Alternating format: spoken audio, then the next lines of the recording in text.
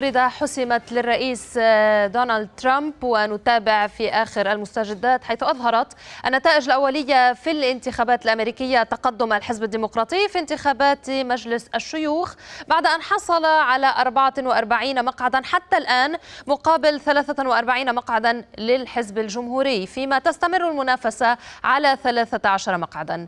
أما في انتخابات مجلس النواب فتظهر النتائج الأولية تقدم الجمهوريين بعد حصولهم على 100 127 مقعدا حتى الآن مقابل 96 مقعدا للديمقراطيين حتى الآن. نعود إلى مراسلنا في مدينة ميامي في فلوريدا هذه الولاية التي حسمت لونها الأحمر. مراسلنا إياد الجغبير وكامل التفاصيل حول الأرقام من فلوريدا. إليك إياد. نعم كارولينا هذه الليلة بالنسبة للديمقراطيين ليست ليلة الثلاثاء هذه ليلة ظلماء سياسيا عليهم. لم يخسروا فقط منافستهم مع الرئيس الأمريكي دونالد ترامب بل أيضا خسروا مقعدين من مجلس النواب. هزائم متلاحقة تلحق بالحزب الديمقراطي داخل ولاية فلوريدا. هناك انتقادات كبيرة للديمقراطيين من أنصارهم بدأوا في الانتقادات الكبيرة لزعماء الحزب الديمقراطي بأنهم لم يكونوا على قدر الثقة من تأمين بعض المناطق والمقاطعات التي كان من المفترض أن تكون هذه ديمقراطية لكن الحزب الجمهوري تمكن من السطو عليها وأخذ أعلامات حمراء فيها. هذا بما يخص أولا مجالس النواب مجلس النواب ومقعدين لخسارة للحزب الديمقراطي إضافة إلى فوز دونالد ترامب.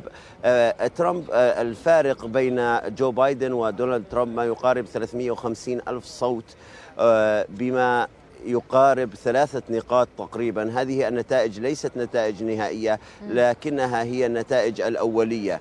لم يكن الفارق متقارب نهائيا. في عام 2016 كان ترامب تغلب على هيلاري كلينتون بأقل من نقطة واحدة. اليوم ترامب يتغلب على جو بايدن تقريبا بفارق ثلاث نقاط في ولاية فلوريدا. وتابعنا أيضا إياد مناصري مناصري الرئيس ترامب يحتفلون في شوارع فلوريدا. ننتقل الآن إلى ولاية تكساس إلى هيوستن تحديدا. وهذه الولاية التي تمتلك 38 مقعدا في المجمع الانتخابي. ومعنا من هناك مراسلنا مجدي يازجي مجدي هل بدأت ملامح هذه الولاية تتكشف؟ نعم كارولينا حالة التأرجح مستمرة. في النشرة السابقة عندما كنا نتحدث كان تقدم لبايدن الآن تقدم للرئيس ترامب بواقع 51.5 ونصف يعني النقطة ومقابل 47.1 لبايدن. والفارق بين الحملتين حوالي نتحدث عن 400 ألف صوت لمصلحة الرئيس ترامب. وهذا بعد فرز قرابة 74% من الأصوات. هذا يعني كارولينا أن مرة أخرى, مرة أخرى حالة التأرجح ثابتة. لم تتحدث أي من وسائل الإعلام المحلية هنا عن حسم في ولاية تكساس. لا نزال أمامنا حوالي قد نكون أمام ساعة إلى ساعتين. للحديث عن أرقام ستكون واضحة بشكل أكثر بكثير. ولكن الآن يبدو أن ما كنا نتحدث إليه أو عنه في الأيام الماضية عن أرقام خاصة باستطلاعات رأي خاصة يطلع عليها حملة الرئيس ترامب. جعلته بحالة من الأريحية تجاه ولاية تكساس. تبدأ تتكشف هذه الأرقام حوالي 400 ألف صوت فارق لمصلحة الرئيس ترامب. قد يكون من الصعب جدا أن يلحق به بايدن ولكن لا يزال هناك حوالي 25% من الأصوات لم يتم فرزها بعد. سنتابعها خلال الساعات المقبلة. هذا على جهة السباق الرئاسي. أيضا كارولينا على جهة السباق الخاص بمجلس الشيوخ حصد الحزب الجمهوري مقعد في حزب الشيوخ بانتصار مرشحه جون كارنن على حساب المرشحة الديمقراطية الديمقراطية إم جي هيجر. وهذه أيضا أخرى نقطة جديدة تضاف للحزب الجمهوري في هذه الولاية ويتم حصد الانتصارات انتصار تلو الآخر. سنتابع الليلة كيف ستنتهي ولكن الحالة الانتخابية في ولاية تكساس إلى الآن هي حمراء وجمهورية.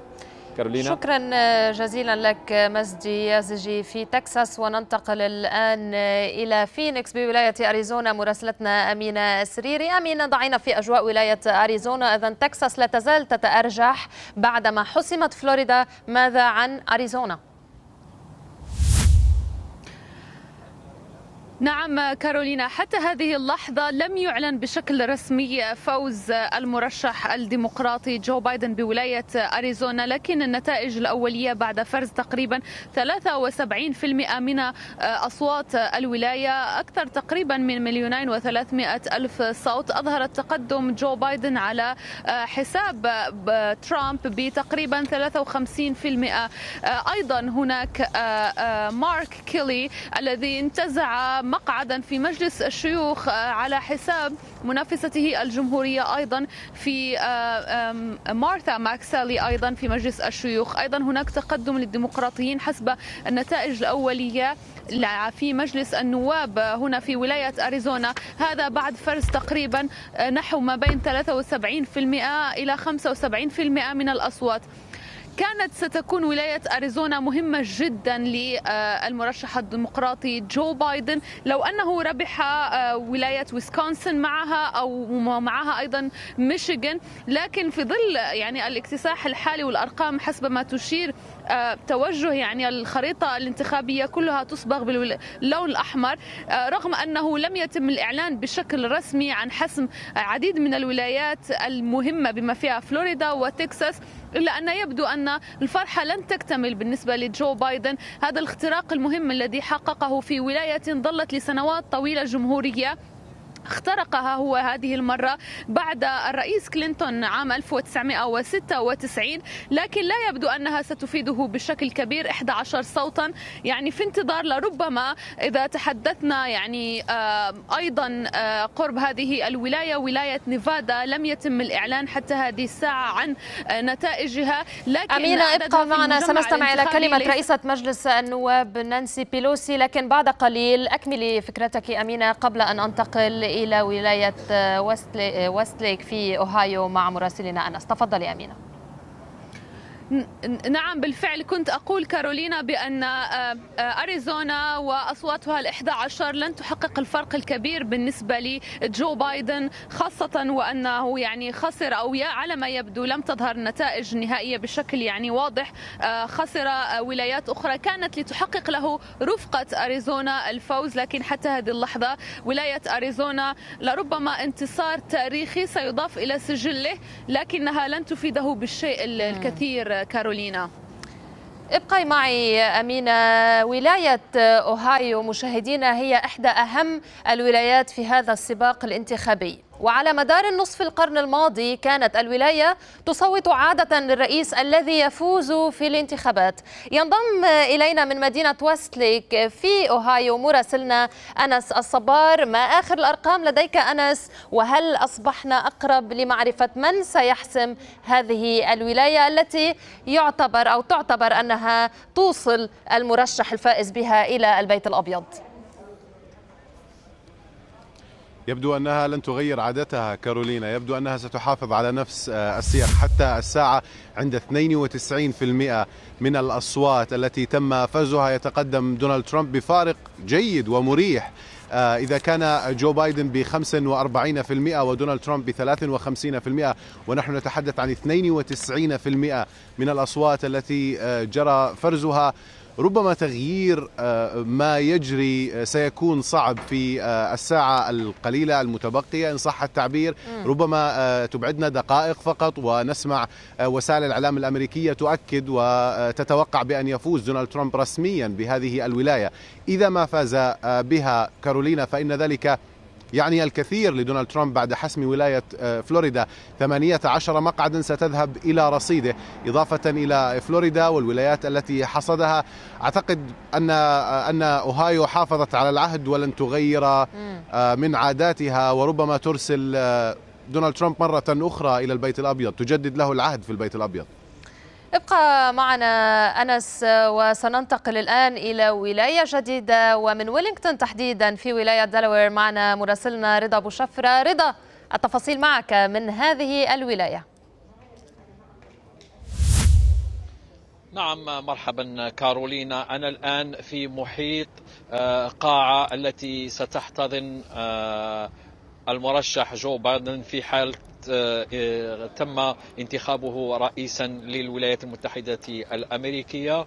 أنصار جو بايدن هم بكثرة في هذا المكان يعيشون حالة من القلق ومن الخوف بسبب الانتظار. هناك ثلاث سيناريوهات مطروحة حاليا أمام أنصار جو بايدن. إما الانتصار أو الانكسار أو حتى الانتظار في حالة ما إذا أنه أخذ أيام طويلة من أجل إعلان النتائج النهائية. طبعا هناك معلومة مهمة جدا أنه في ولاية بنسلفانيا إلى غاية اللحظة تم فرز 42% من الأصوات يبدو أن الرئيس دونالد ترامب متقدم كثيرا مقارنة بالمرشح جو بايدن. هناك فارق ب 14% إلى غاية اللحظة بعد فرز 42% دونالد ترامب حاز على 56% مقارنة ب 42% لمنافسه جو بايدن. طبعا هذه ليست نتائج نهائية طبعا. لكن ممكن لكن رضا نتابع الآن في هذه الصور المباشرة نعم. أيضا عمليات فرز الأصوات في ولاية بنسلفانيا. كما ذكرت لنا إذا حتى الساعة تم فرز 42% من الأصوات في هذه الولاية. تظهر تقدم نعم. للرئيس الحالي دونالد ترامب ب 14% نعم. وولاية بنسلفانيا لمعلومات الإخوة المشاهدين تضم 20 مقعدا في المجمع الانتخابي وهو رقم مهم جدا مثله مثل 29 مقعد بالنسبة لولاية فلوريدا. لذلك كان السباق والتنافس شديد حول هذه الولاية وهي ولاية بنسلفانيا. نترقب حاليا ظهور نتائج أكثر من ولاية بنسلفانيا لكن قرار المحكمة العليا في هذه الولاية قد يؤخر ظهور النتائج لأيام أو ممكن حتى لأكثر من أسبوع. كارولينا. ابقى معنا رضا. سننتقل إلى واشنطن مع مراسلنا جو تابت جو يعني منذ بعض الوقت تابعنا أنصار الرئيس دونالد ترامب يحتفلون في شوارع فلوريدا. ماذا عن شوارع واشنطن؟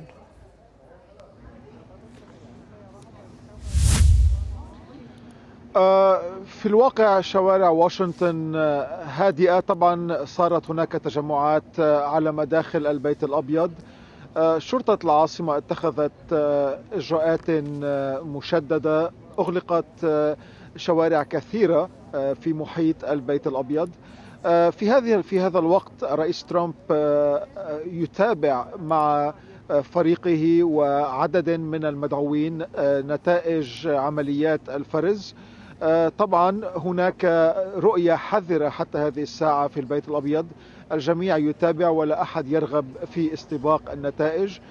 طبعا لم لم تظهر حتى هذه الساعة هذا من ناحية البيت الأبيض لم تظهر أي مفاجآت في عمليات الفرز. وهامش أو حظوظ فوز جو بايدن بدأت تتقلص. لكن وفقا للبيت الأبيض من من المبكر القفز بالاستنتاج أو الاستنتاج أي شيء حتى هذه الساعة.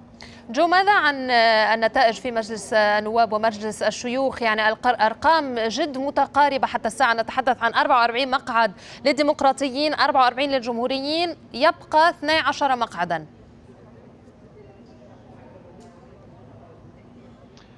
فيما يتعلق بمجلس النواب الديمقراطيون حافظوا على سيطرتهم على أكثرية المقاعد. السباق في مجلس الشيوخ متقارب إلى حد كبير. الديمقراطيون يحتاجون إلى ثلاثة مقاعد لانتزاع الغالبية الأكثرية. لكن حتى هذه الساعة ما زالت ما زالت الأنظار مشدودة إلى الساعات المقبلة لمعرفة كيف ستتحول النتائج.